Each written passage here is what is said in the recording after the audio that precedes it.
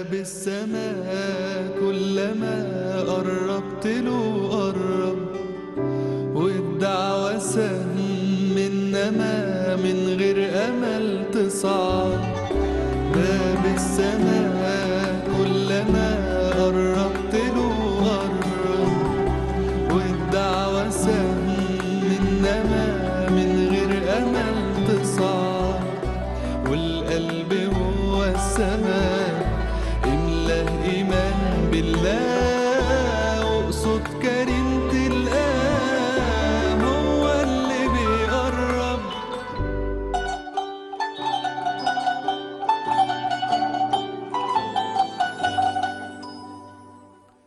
سلام الله عليكم ورحمته وبركاته. مرحبا بكم أخوة الإيمان والإسلام في لقاء جديد من برنامجكم لعلهم يفقهون على قناتكم دي ام سي. أسأل الله عز وجل أن تكونوا على خير وعلى نعمة وعلى طاعة.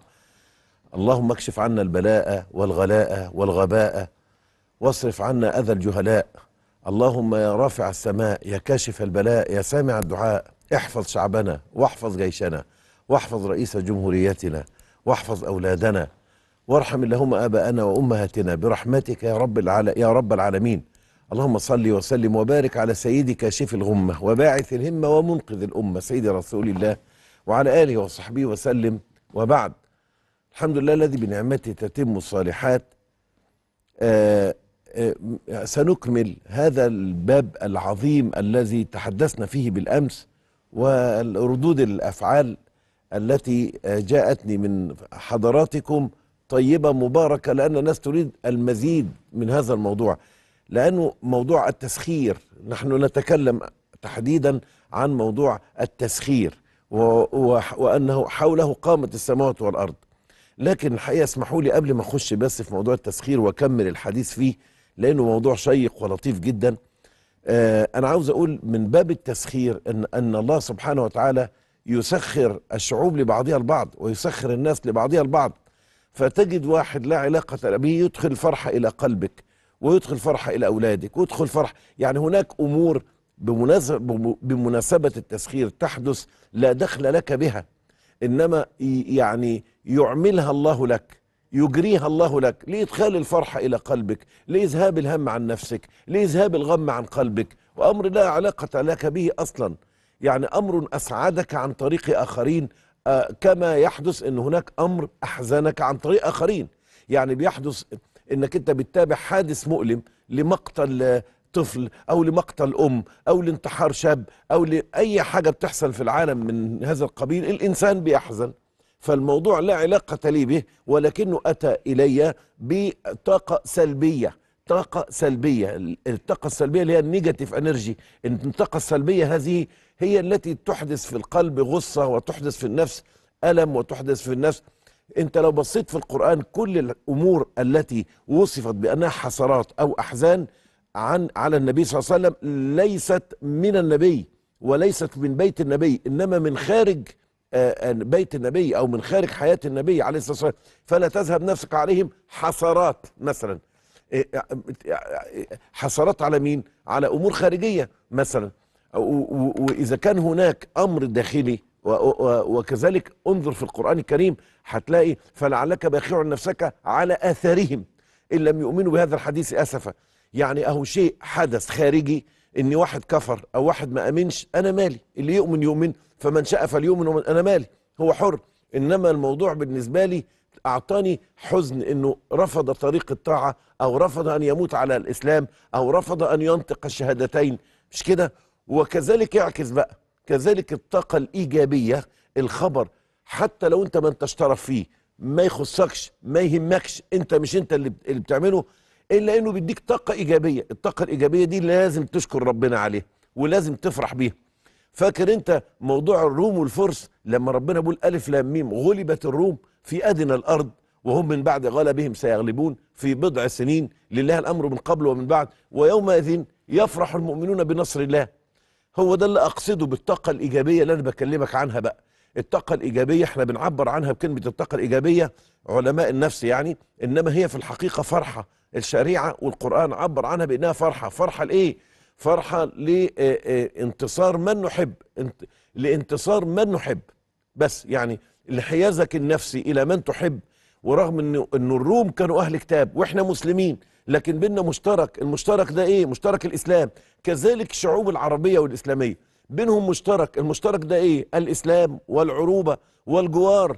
كل المشتركات ديت عيشت الناس في جو لطيف جدا بالأمس بمناسبة فوز ال- الفريق المغربي الذي يمثل دولة المغرب الشقيقة. وهو في الحقيقة يمثل كل العرب. وكانت فرحة عالية جدا. بعض الشيوخ أو بعض الدعاء يحاول يتفه المسألة وهذا الحقيقة من قلة العلم لأنه لا لابد من تضخيم الفرحة لابد من تضخيم الفرحة لأن طالما هناك جامع لأن هناك رابط لأن هناك آه، إذا اكتشفنا أن هناك ما يربط بين شعوب الأمة أهلا وسهلا. و- ولم لا؟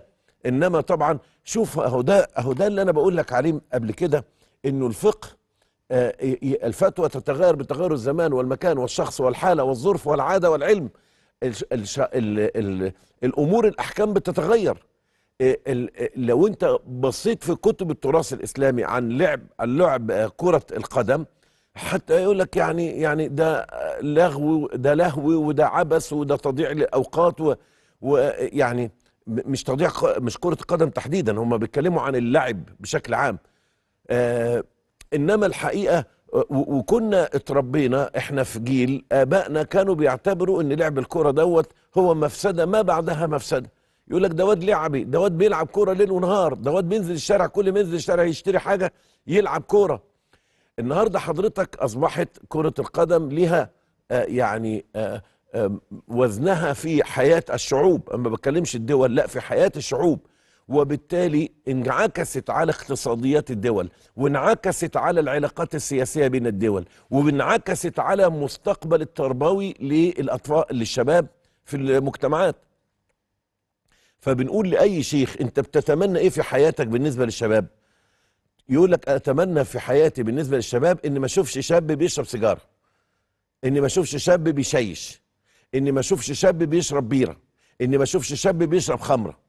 ان ما أشوفش شاب بيزني ان ما أشوفش شاب بيتعاطى مخدرات ان ما أشوفش شاب مدمن. اللهم آمين. ربنا يشفي الشباب كلهم ويحميهم ويحفظهم. طب كرة القدم حققت لنا ده. جمعت الشباب حوالين تدريبات وحوالين رياضة وهو المطلوب. مش أنت عاوزهم يبعدوا عن قعدات ال ال ال ال الفساد وقعدات الفسق وقعدات الفجور وعاوزهم رياضيين؟ الرياضة بقى ايا كان بقى أوعى تفتكر آه، علموا أولادكم الرماية والسباحة وركوب الخيل. ده حديث ده مش حديث نبوي. ده كلام من جمل المحسوب أو المنسوبة إلى سيدنا عمر بن الخطاب رضي الله عنه وأرضاه. إنما هل هو حديث؟ لا ما فيش قال. صلى الله عليه وسلم علموا أولادكم الرماية والسباحة وركوب الخيل. لا.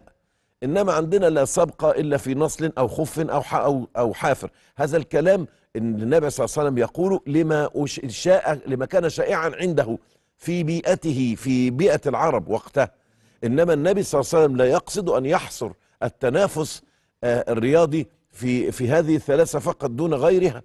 إنما الدرس المستفاد إن شعوب الأمة كلها أنا هقول لكم على حاجة أنا الحقيقة طبعا آه، يعني مع احترامي الكامل لكرة القدم آه، أنا م- لم أشاهد المباراة لأني كنت في وقت في وقتها كنت أحاضر في أكاديمية الأوقاف. في هذا ال- الصرح العظيم بتكليف من السيد الأستاذ الدكتور مختار جمعة وزير الأوقاف للتدريس للوفود العربية التي تأتي تباعا وتتوالى آه، ويتوالى وصولها إلى مصرنا العزيزة للدراسه والتعلم والاستفادة والإفادة من خبرات العلماء الأزاهرة وعلماء وزارة الأوقاف وعلماء مصر. في الدعوة وفي المجال الدعوي. الحياة الأكاديمية بتقوم بعمل عظيم جدا في السادس من أكتوبر. فالحقيقة آه، كنت معايا الوفد الجزائري بديهم محاضرة في فنون التواصل الدعوي. وبتكلم عن العلاقة ال- الإعلامية بالعلاقة الدعوية. وكنا الحقيقة المحاضرة استغرقت ساعتين اتنين في جو من الحب والمحبة. شيء يعني علماء الجزائر أنا فوجئت بهذا يعني الحقيقة. مستوى متميز مستوى متميز يختلف عن أي آه، الحقيقة يعني يختلف عن أي بعثة أخرى ليهم كل الاحترام والتقدير. إنما علماء علماء بحق. إنما عاوز أقول بس حاجة الكلام ده قلت لكم معايا مين؟ علماء الجزائر. أثناء ال- ال- الحدث إيه؟ أثناء المباراة التي جرت جرت بالأمس. الحقيقة جاءنا الخبر آه، عن طريق أحد العمال إنه المغرب فازت بهذه المباراة. الحقيقة كان يهمني جدا يهمني جدا أشوف وجوه الجزائريين آه، في أنا طبعا أنا عن نفسي أنا سررت الحمد لله قلت طب الحمد لله ده خبر لطيف أدخل الفرحه والسعادة إلى قلبي إنما لما نظرت إلى إلى وجوه الجزائريين وجدت سعادة ما بعدها سعادة هللوا وكبروا وسعدوا وعانق بعضهم بعضا يعني يعني كانوا في فرحة شديدة جدا عندما ها هذه هي الشعوب العربية. مثل المسلمين في توديهم وتراحمهم وتعاطفهم كمثل الجسد. إذا اشتكى منه عضو تداعى له سائر الأعضاء بالحمى والسهر. منظر ومشهد كان أكتر من مبدع. قلت يا رب كما وحدتنا بهذا الدين وحدنا بهذه الدنيا وكما وحدتنا في جدنا وع- وحدنا يا ربنا في لهونا وفي كل شيء في حياتنا حتى نرجع خير أمة أخرجت للناس. نكرر التهنئة لفريقنا المغربي الذي شرفنا ولا يهمنا ما يحدث بعد ذلك ونتمنى لهم وهو أكثر من ذلك. إنما لا يهمنا يعني أكثر من أنه آه، آه، وقفوا وقفة رجال وأثبتوا أنهم على قدر المسؤولية والاحترام. بارك الله في كل من يشجع رياضة نافعة تنفع شباب الأمة وفاصل ونواصل. ابقوا معنا.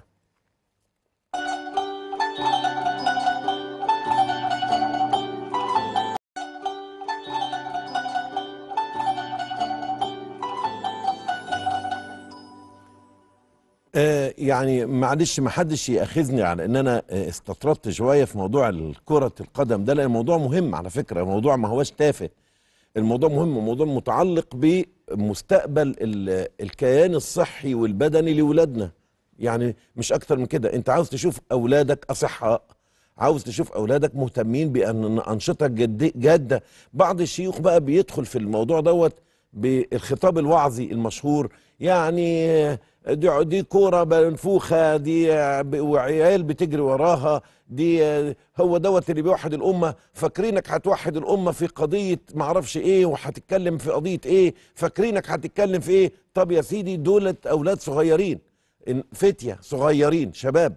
يعني أنت عارف سنهم كام ده؟ 20 21 22 سنة اللي حضرتك شايفهم عملوا اللي يقدروا عليه. انت بقى بخبرتك العظيمة وبعلمك الغزير يلا وحد الأمة على هدف منشود. اشتغل انت بقى. إنما أنتوا خطابكم خطابكم المتطرف أدى إلى انشقاق الأمة.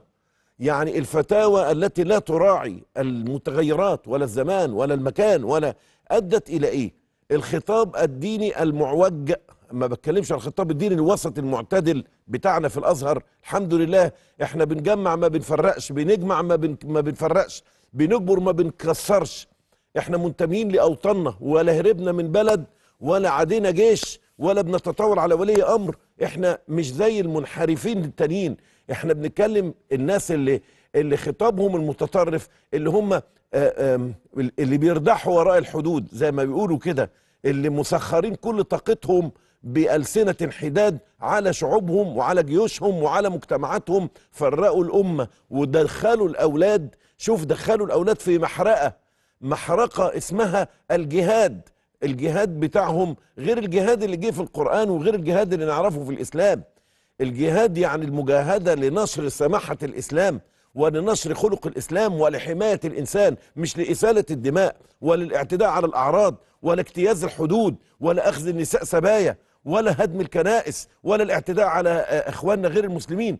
الكلام ده ما نعرفوش في إسلامنا إنما هم بخطابهم فتتوا وفرقوا وأحرقوها وجعلوها محرقة ودمروا الشباب وزرعوا الفتن ونشروا التعصب.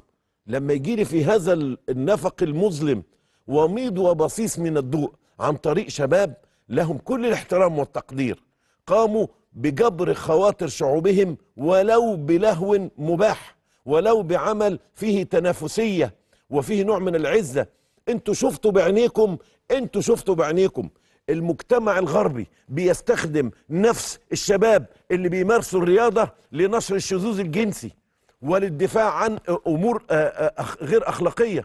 شفتوا بعينيكم بعض الفرق اللي كانت حريصة وبعض الرياضيين عندهم اللي كانوا حريصين على آه، ارتداء شارة المثلية وشارة لو بيقولوا عليها شاره شارة الشذوذ بيقولوا عليها مثلية وهي وهي شذوذ واضح.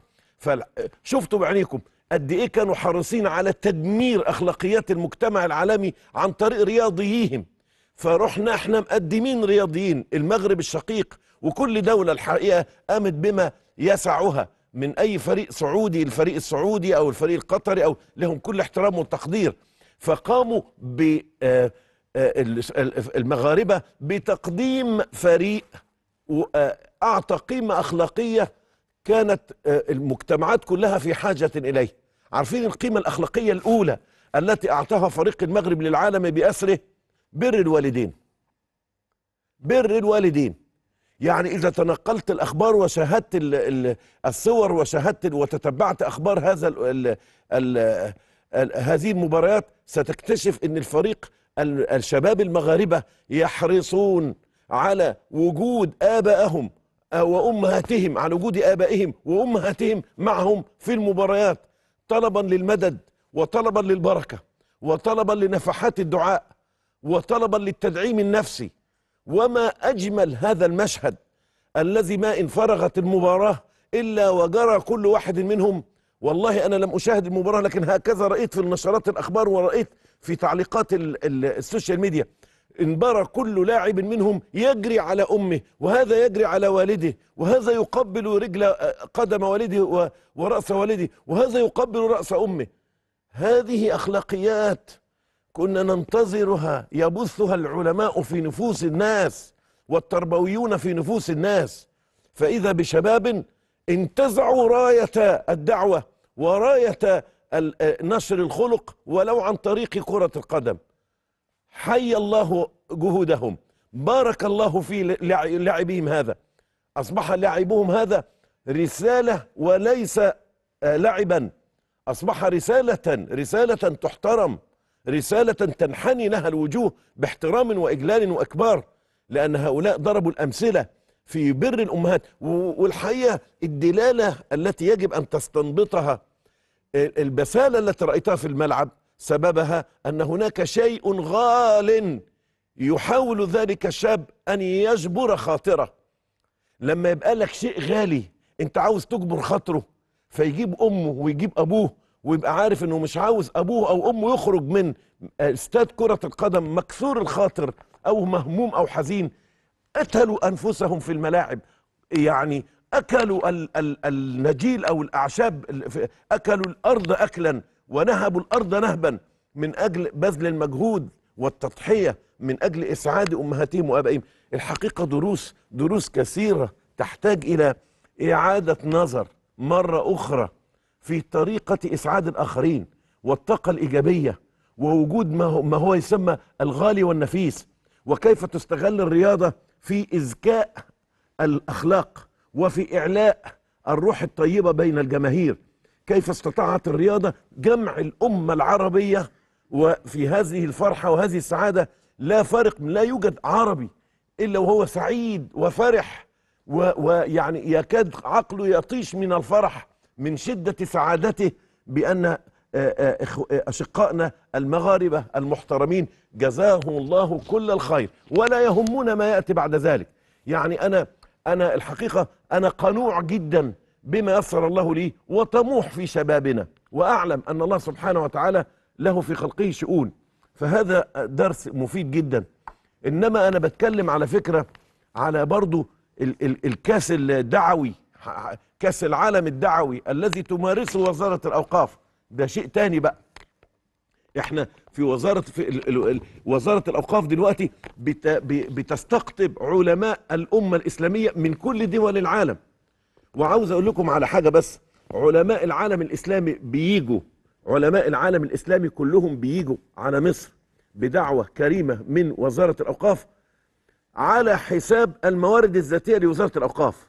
يعني إياك أن تظن أن الدولة ستتكبد مليما واحدا في هذه التكلفة. إنما وزارة الأوقاف بمواردها الذاتية وزارة الأوقاف بمواردها الذاتية هي التي تتولى الإنفاق على هذه البعثات التي نتمنى دوامها بمشيئة الله تبارك وتعالى.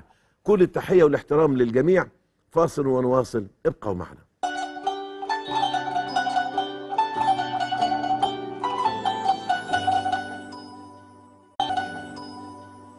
من انت كريم يا رب. قد إيه إحنا بنسعد جدا لما بيحصل إن إحنا آه، يعني بنوصل رسالة وبنكون سبب في توصيل الرسالة ودي نعمة من نعم الله سبحانه وتعالى. فطبعا برضو علشان حضراتكم نتواصل مباشرة أنا أدعوكم في يوم الأربعاء في صلاة العشاء في مسجد الحسري لما نتقابل في مسجد الحسري معروف في السادس من أكتوبر يوم الأربعاء شاء الله الأربعاء بعد صلاة العشاء مباشرة في دروس التفسير هناك في المسجد المبارك ونسأل الله سبحانه وتعالى إنه آه، ينفعنا وي- وينفعكم بما علمنا وبما يسر لنا يا رب العالمين. إحنا قلت لك إن إحنا لازم لازم نكون سبب من أسباب السعادة. لازم نكون سبب من أسباب السعادة علشان السعادة التي نتمناها من الله سبحانه وتعالى إن إحنا نقدر آآ آآ نباشر رسالة إيجابية. الطاقة الإيجابية دي أمر من الأمور المطلوبة اللي إحنا آآ آآ يعني نسأل الله سبحانه وتعالى ننجح في إيصالها إليكم جميعا. ال- الرسول عليه الصلاة والسلام لما يقول إيه في كتاب العزيز يقول اتق الله حيثما كنت وأتبع السيئة الحسنة تمحها وخالق الناس بخلق حسن. ده كلام مين؟ ده كلام سيدنا المصطفى صلى الله عليه وسلم. لما النبي عليه الصلاة والسلام يعني يعني كان يحرص يحرص على الطاقة الإيجابية ويقول دع ما يريبك إلى ما لا يريبك وكان صلى الله عليه وسلم آه، آه، يسلم على الصغير والكبير وكان هاشا باشا ويعرف النور والاستنارة في وجهه. والمولى لما يقول في القرآن وقولوا للناس حسنى لازم تنشر طاقة إيجابية على الناس. وتكون سبب لأن إحنا كلنا مسخرين لبعض. وهنا بمناسبة التسخير عاوزك تاخد بالك من الآية بتاعت سورة المؤمنون والآية بتاعت سورة الزخرف. في سورة المؤمنون المولى سبحانه وتعالى بيقول في كتابه العزيز فاتخذتموهم سخريا حتى أنسوكم ذكري. فاتخذتموهم سخريا يعني فاتخ- فاتخذتموهم سخريا بكسر السين سخريا. وفي سورة الزخرف يقول إيه؟ آه آه ليتخذ بعضهم بعضا سخريا. يبقى بتاعة سورة المؤمنون جاءت بكسر السين وجاءت بتاعة سورة الزخرف بضم السين الأولى يقول لك سخريا والتانية سخريا. إيه الفرق بين سخريا وسخريا؟ سخريا بكسر السين جاية من السخرية. وجاية من التطاول والاستهزاء. فلان يسخر من فلان. أدي معنى كلمة سخريا. أما سخريا بضم السين فهو من التسخير. يعني كلنا خدم لبعض. كلنا لصالح بعض. هي دي بقى ال ال ال ال الت هو ده التسخير اللي عاوزك تفهمه. إن ربنا سبحانه وتعالى بيقول ورفعنا بعضكم فوق بعض درجات ليتخذ بعضهم بعضا سخريا. ليست سخريا يبقى بضم السين. انت بص انت عاوز تفرق بينهم وما تغلطش فيهم. آه حاجة بسيطة خالص. اللي بيحط من قدر الإنسان يبقى بالكسر. سخريا. حط تحتها كسرة. اللي بيحبب أخوه ليه وبي و و و وبيديله الطاقة الإيجابية اللي لسه بحكي لك عنها من خمس دقايق يبقى حط ليها حركة الضم. سخريا. الاتنين وردوا في القرآن الكريم. فاحنا عاوزين نكون في حالة من حالات ال- التضامن والحب والتفاؤل والإيجابية. إنك ترى إن غدا بمشيئة الله سبحانه وتعالى سترى يعني ده لدرجة إن سيدنا بلال كان يرى في الموت مكافأة. فبيقول غدا ألقى الأحبة. شوف شايف الموت إيه؟ غدا ألقى الأحبة محمدا وصحبه. لما النبي عليه الصلاة والسلام يخلينا نشوف في المرض مكافأة ويقول إن المؤمن تتحت عنه الخطايا كما يتحت عن الشجر ورقها لما النبي عليه الصلاة والسلام بيجعل المرض كفارة للخطايا بيوريك الجانب الإيجابي في الشيء فيقول عودوا المرضى فإن دعوتهم مجابة وذنبهم مغفور.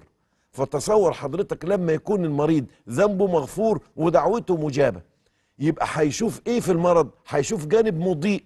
جانب إيجابي جانب منعش للنفس. يعني على رأي إيليا أبو ماضي يقول أيها الشاكي وما بك داء؟ كن جميلا ترى الوجود جميلا.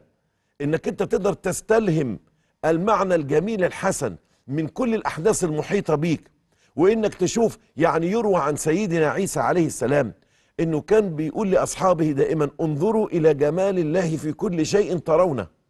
وهم ماشيين يا حضرات عدوا على جثة حمار نافق ميت يعني. وشوف بقى منظر مؤذي جدا. فواحد بيسأله كده بسخرية بيقول له آه، يعني يا معلم وأين جمال الله فيما أراه؟ فين بقى جمال الله في اللي أنا شايفه؟ أدي حمار ميت أهو.